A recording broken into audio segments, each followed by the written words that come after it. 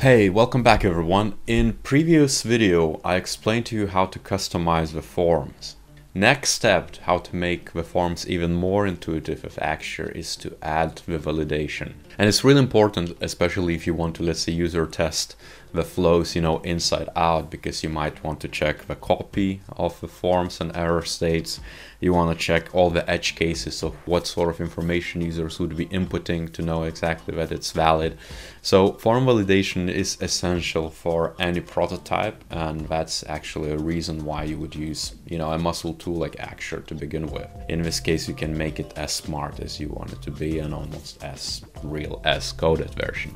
So let's jump right into it. Um, as you can see, I have a prototype from a previous video where we set different custom fields. And what we really want to do next is allow users to, let's say, enter emails, enter passwords, which are the same, and then click next and go to a next step. Now, there are a couple of things to consider here. First and foremost, need to validate that the email field is an actual email. Next, we need to make these hidden and password like and that they're actually the same and once the user clicks next if you know those fields are not correct we give an error message and if it's success just open a next page. So simple as that and let's crack on. To begin with it's really good practice to name your input fields. As you can see I have this input field. I'm gonna give it uh, a name like email input. I also like to add uh, identifier beforehand so that I know that it has to have some sort of extra condition done to it. Uh, a plus sign is quite, so let's say it's quite neutral, password one, and the last one, let's call it password two. And what we can do in Axure, we can either do the manual uh, validation or an automated. I'm going to show you how to do manual because that's a good start to kind of think how to use the tool to its extent. What you have to do is set the different fields to um, what sort of type they are. So let's say if I want to make these fields um, to look like their password when the user is typing instead of just plain text, I would select both fields or one by one and have this settings icon next to password one, I would select what sort of type it is. So as you can see, we have a password field and let's do that for a second one as well. Password and that would mask it automatically if I start typing which is great. It's really quick way to do so. Now for emails we also can select it into the email type and we also can assign the submit button which is the next. Let me just quickly name and let's preview it. Let's see what happens. As you can see, I have an email address. Let's say random incorrect email address, some sort of password, and I can click next. Now, why it happens is because we haven't done any logic to validate it. You know, it, it's like user could enter anything and we couldn't capture it. So what I want to do next is add some manual logic, conditional statements to check if the fields are correct. I usually start by designing an error state or like an error panel of how it could look like. It could be just text, it could be like a toast type of thing.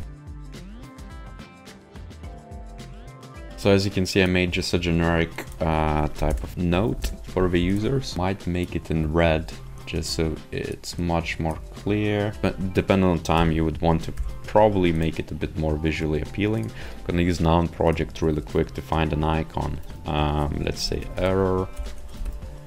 And I'm gonna select the same exact shade from that and use let's see that icon. Looks pretty good as long as it does the trick, kind of tells the users of what's going on and what we have to do next. So boom, I have this panel. I'm gonna create it into dynamic panel and say state one, let's call it generic error. Now, if I would have more specific errors, I would create different states and then I can just flip it and show it. So I could have a, an error for passwords specifically, an error for emails and stuff like that.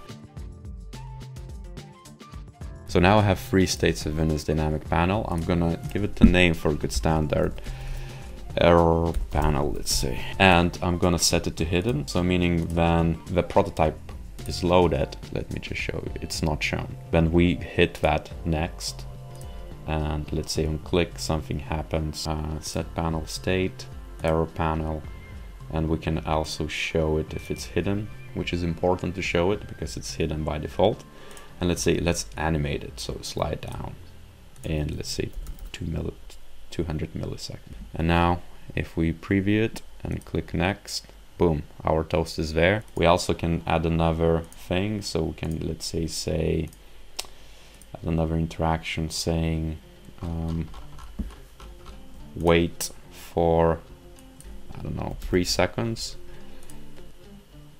and then fade out. So let's say we can say show hide error panel hide and animate out. So slide slide up let's say. And let's say 300 let's test it out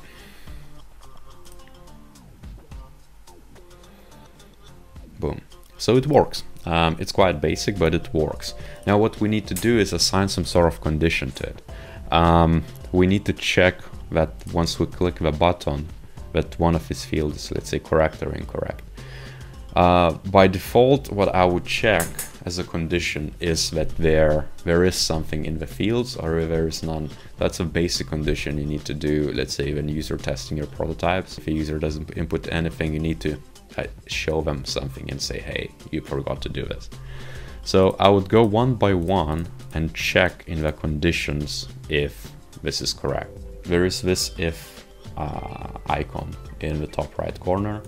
If I could click on it, I would could create a condition and let's name this condition empty fields.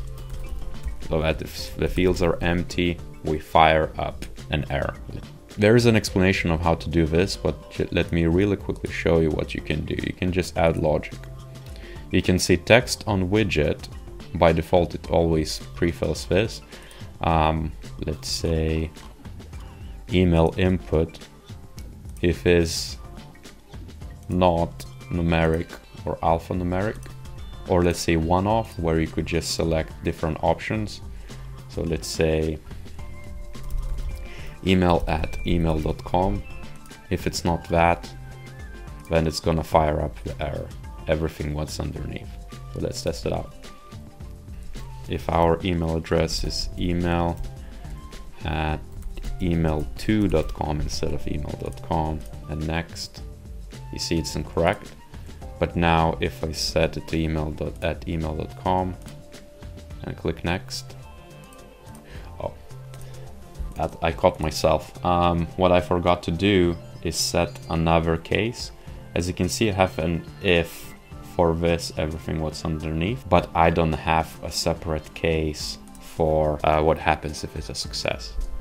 So I would just copy it in and say else and I could just I would delete all those bits. I could edit that case right away and let's say is one off email at email.com and I could just also enter email at email.com just in case users type with a capital click OK and I would want to add interaction to take us to the next step. So the basic profile, as you can see, I'm saying if this thing is not email at email.com, show me an error.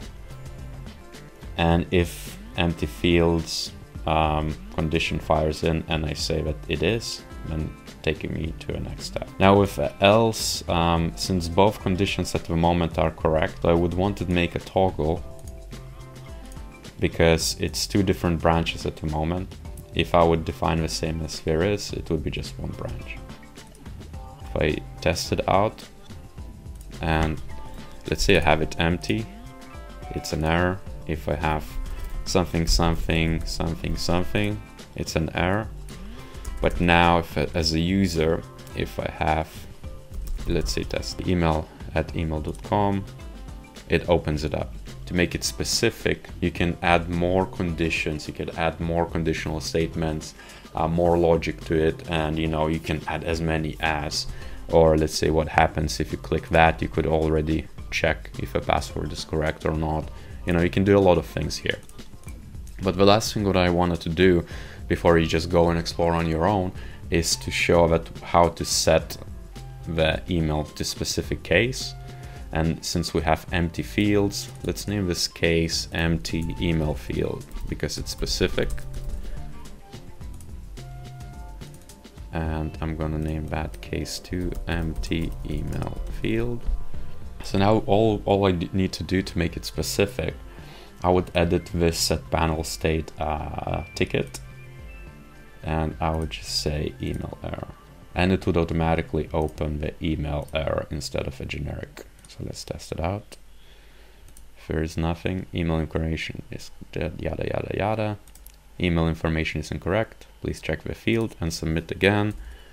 And as you can see, it made it a specific error. You could also add some specificity. So let's say once that email, once that error is fired off, you could focus on the specific field or let's say even show another dynamic panel which has an outline to the field. An example of that could be that we just add an interaction saying that focus on email input and just maybe drag it above that set panel state so that the error appears at the same time as the email, email input. And let's test it out. So let's say if we have some sort of bogus email and we put it, boom, it selected it.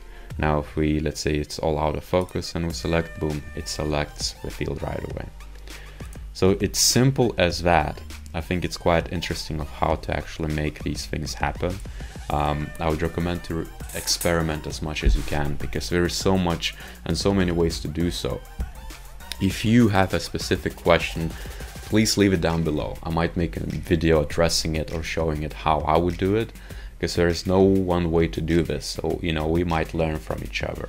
As always, thanks for watching this. I hope this is helpful. If so, give a like, uh, subscribe to this channel if you're new to this, and stay tuned for next material in Axure Noob to Master series.